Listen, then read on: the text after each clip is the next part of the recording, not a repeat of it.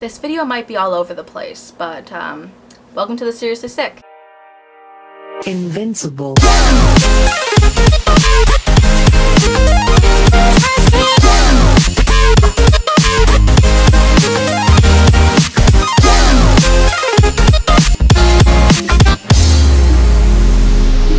So, this week is Conspiracy Week, as you've probably noticed, and well, I was thinking about what conspiracies I could talk about, and then I, I just kind of realized that a lot of them are really negative, and nothing wrong with that. I love watching it, and, uh, you know, Shane Dawson's videos, um, but I don't know. I feel like I'm not a great person to talk about sad or negative or, you know, depressing, like, topics. So, I'm going to talk about something that is very, very near and dear to my heart. High School Musical.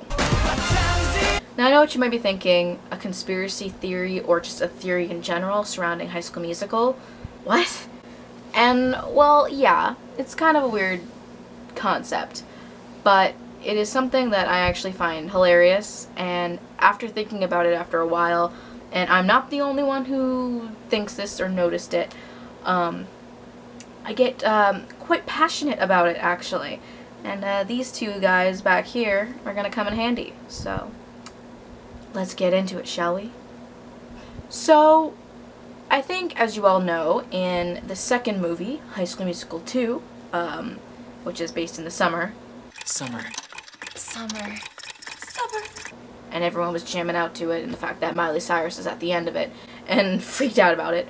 Um, there's this particular dance or song in it that has sparked a lot of um, attention in, you know, the Tumblr and internet community, basically.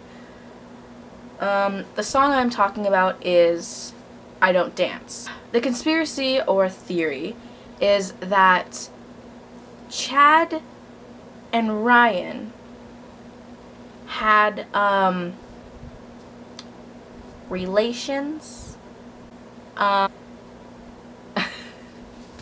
that sounds so weird to say, but it's basically the theory that in this particular dance, um, I don't dance, is basically a metaphor for gay sex and straight sex and Ryan trying to say, hey Chad, swing my way. I'll explain. So, basically, the main reason everyone thinks this is that it's baseball. And in the Urban Dictionary and in you know, the flag community, people use the term pitcher and catcher a lot. So if you're a pitcher, you tend to be the person who is giving it, um, so you're at the top. And then if you're the catcher, you are receiving, meaning you are at the bottom. And the whole time it goes back and forth between, obviously because it's baseball. So hey there, um, this is awkward, I know. Um, but I was editing and I realized I didn't really explain anything very well. So here you go, you got a little insight explanation. So basically, when I was saying how there's the pitcher and then there's the catcher, it starts off with Ryan being the pitcher, you know, saying, Chad, hey, come on, let's, let's do this. And he says it multiple times, at least once. It says, I'll show you that it's one and the same baseball, dancing, same game. And by that, it's almost saying how baseball is like straight sex and how dancing is basically gay sex. Um, so he's basically saying, yes, it's different, but it's the same thing. Um, so that's the first little insight thing I wanted to mention. So roll the clip you that it's one and the same. Baseball, dancing, same game. It's easy. Step up to the plate. Start swinging. So, after that little thing happened And he's kind of like, um Start swinging, meaning swing my way Which is, he's gay. If you don't know, Ryan's gay. If you didn't know, you're kind of I would It's kind of obvious, just saying. Um, but anyway I have a nose itch. Oh my Lord Jesus. Anyway, so after that, Chad's kind of like, I only play baseball.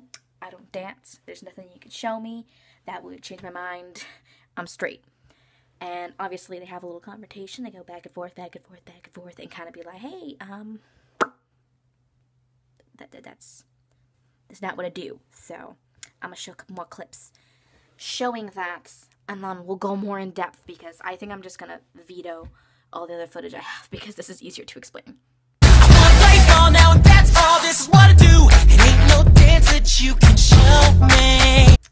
So my favorite part that really shows, you know, the whole gay thing is when it says, "You'll never know if you never try," which just just just watch it. Never try.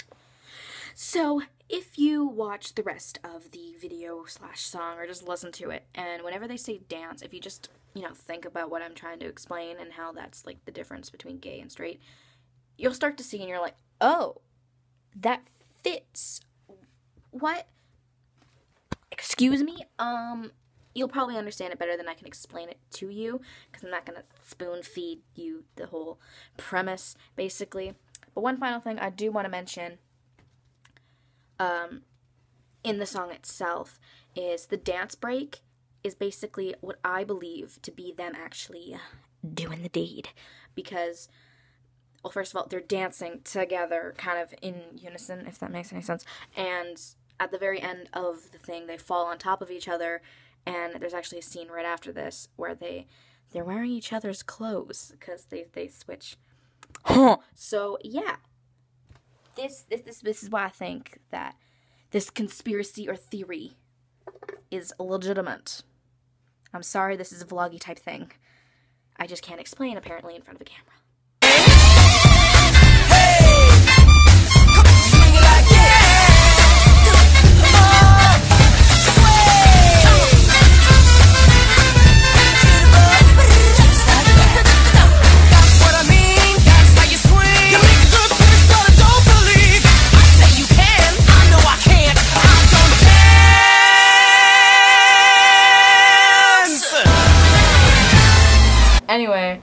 Hope you guys enjoyed this video.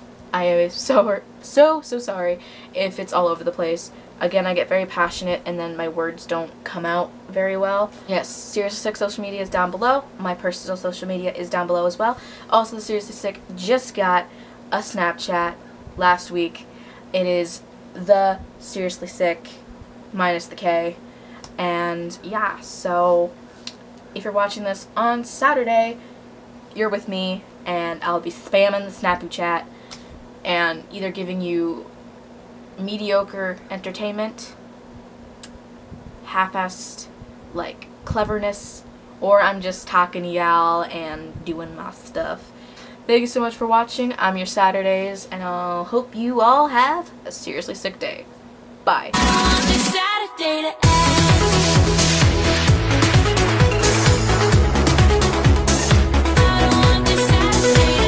There's no denying that they fucked. Just saying.